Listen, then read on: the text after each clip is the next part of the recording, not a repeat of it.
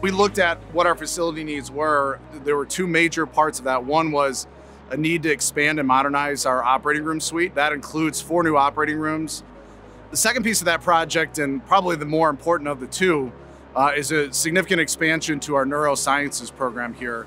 Alexian Brothers is renowned for its Neurosciences Institute. We'll be moving all of our uh, patients from our existing West Tower, is original the hospital from 1966, into a brand new modern facility with 36 beds that are ICU capable uh, and will provide state-of-the-art care for our neurosciences patients.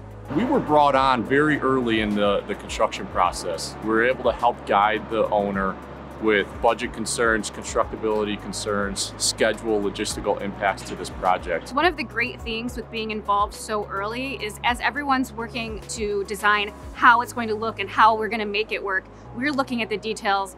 How do you build that? How does that affect the constructability of it? There's certain steel elements that we needed ahead of time. There's certain shutdowns we had to plan for ahead of time so that we're not waiting for materials, we're not delaying the project.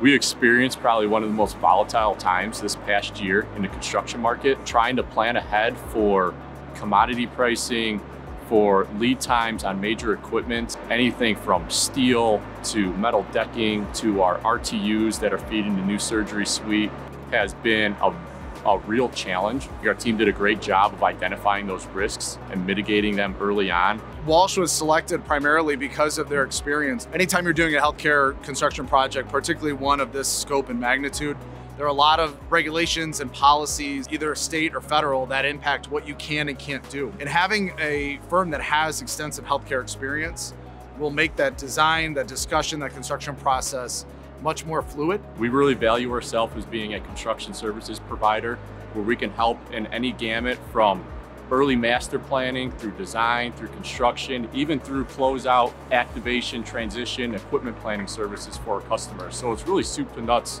uh, suite of services that we can offer to all of our customers. We're definitely no stranger to very complicated, large, complex vertical expansion projects, both here in Chicago and across the country. Uh, one of the most notable ones that we've completed recently was the 24-story addition to the Blue Cross Blue Shield building downtown Chicago, where we built that on their existing 33-story structure that is one credential that we brought to the table here that really stood out to Ascension and Alexian Brothers. Whatever you're building on top of a building where you have patients, we have our ICU, our telemetry unit, our post-orthopedic care, um, all in the East Tower. We continue to have patients seeking care and, and, receiving care in those buildings throughout the duration of the construction project. Walsh, uh, clearly a leader in vertical expansion, uh, was selected for their expertise in that area, as well as their track record on safety.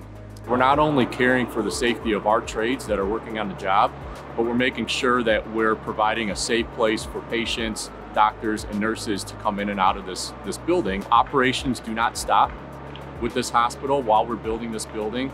So logistics are, are very critical when we're working around an active campus. We're extremely landlocked. Um, we're building in between two existing buildings, adding vertically to another. We've got roads, we've got ponds, we have existing common utilities we have to protect and work around. So it's a very complicated, congested site that we're working with. We have, you know, daily communication with the facility staff so that they know where we're going to be working in their facility day in and day out. There's a lot of uh, MEP systems that we have to retrofit. So coordinating shutdowns, coordinating temporary work so that we can keep patient rooms and patient areas active throughout construction has been very key.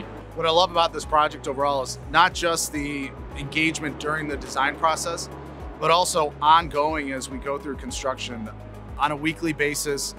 The Walsh team, the design firm, and our directors over perioperative services, uh, over our nursing units, they meet and they talk about what's happening in the construction project, issues that are coming up, major timelines, major events that may impact patient care and patient safety, and we work together and collaboratively on that. And then once a month, we have an executive update where we talk about where we are in terms of budget, scope, timeline. Are there any major changes that need to be discussed and approved? And I think that that collaborative process gives both of us confidence